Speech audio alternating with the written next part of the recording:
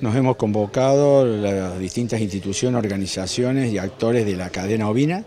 a los fines de bueno, analizar la evolución del sector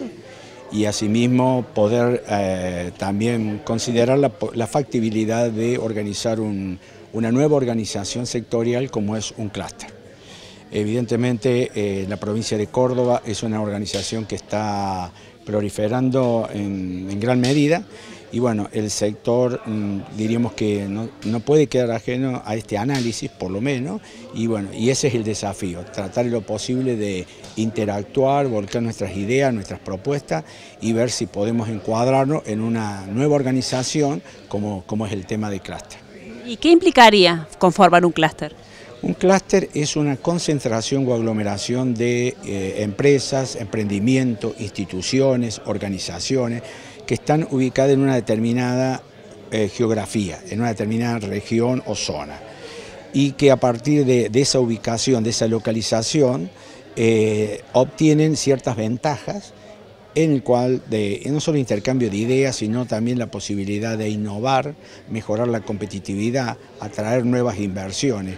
y generar valor agregado. Entonces, de esa manera, eh, ese trabajo colectivo, conjunto, esa acción, evidentemente puede lograr beneficios, en general, mucho mayores que si cada actor lo hiciera individualmente.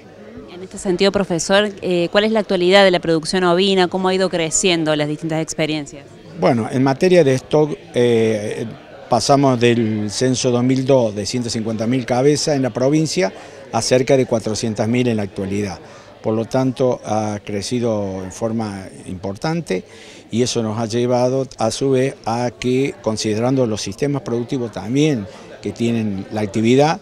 así que bueno, si bien esto es una actividad complementaria, muy pocos sistemas son exclusivamente ovinos, bueno, esto destaca un poco la importancia. La diversidad de los sistemas hace que se incorpore el sistema ovino, así que para nosotros es muy importante, sobre todo para el desarrollo territorial, la importancia de, de dar valor agregado, que es un poco lo que estamos considerando, y además porque la, especie no, no, es uniproducto solamente cárnico, sino que tiene también la posibilidad de lana, de, cuero, de leche, guanos, reproductores, es decir, es multiproducto. Y eso evidentemente tiene una potencialidad que tenemos con el tiempo poder aprovecharla y creo que de alguna manera va a tener un impacto del punto de vista productivo, económico y social considerable en el territorio.